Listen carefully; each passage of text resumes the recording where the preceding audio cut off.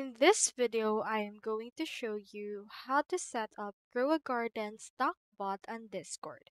So this particular bot that we're talking about is called the Vulcan bot as well.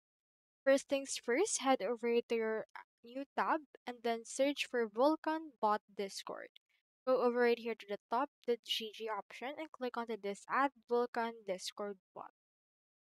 Once I've clicked on it, you can see this. So with this particular bot, you can enhance your Roblox trading experience and have fun with games like Blox Fruit as well as Grow Garden.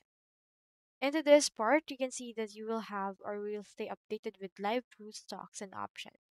Click onto this invite option and then this will redirect you to your authentication for the Discord app. Just wait for this to finish the loading process. Here is the actual loading option. Click on this add to server. And then scroll down and then select a server where it's gonna be added. I'll add it right here to my how to server and click on continue. Make sure to authorize its access and then answer the captcha associated with it as well. So make sure to just answer it.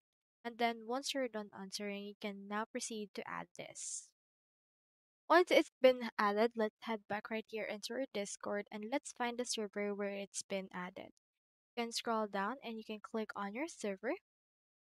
And then from in there, this should be able to appear right here into our general tab.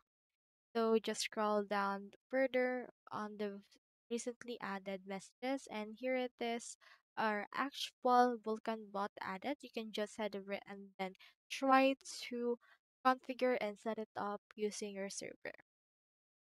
So that's how you actually set up a Grow Garden stock bot on Discord.